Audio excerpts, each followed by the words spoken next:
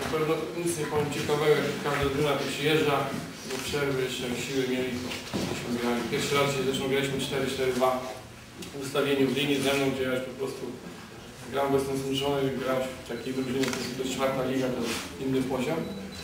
I do przerwy mówię, no pierwsza bramka, jeszcze mówiłem, kto koło ma kryć i tak nic Padła na krótki, zawodników wyjechali. Druga też mogliśmy uniknąć, karnego mogliśmy, ale mogliśmy z innych dostać sytuacji bramki, także na niego wychodzi, bo mieli, nie wybijaliśmy kilka sytuacji, no Pogoń gra lepiej niż na jesień na pewno. Z tą co dzisiaj byśmy może jakiś tam 1-0 było na jesieni, dwa byśmy przegrali. Bo tamten mecz pamiętam, to w drugiej połowie żeśmy nawet mieli przewagę. A dzisiaj nie mogliśmy na grać. To wszystko.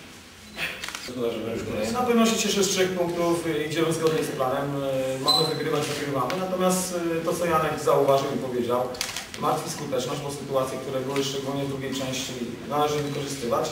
E, Jednak no, nie tacy napastnicy nie trafiają e, w dogodnych sytuacjach, my też nie trafiamy, także ja myślę, że trzeba robić swoje, trzeba przede wszystkim wygrywać i, i piąć się w górę, w górę być na tym szczycie cały czas, natomiast później myśleć o barażu intensywnie i mocno.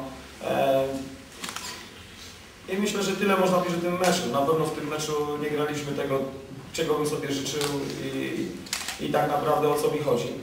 E, Był to jeden ze słabszych meczów, który graliśmy w tej rundzie i dlatego myślę, że musimy więcej pracować nad pewnymi elementami, a myślę, że nasza gra będzie lepsza.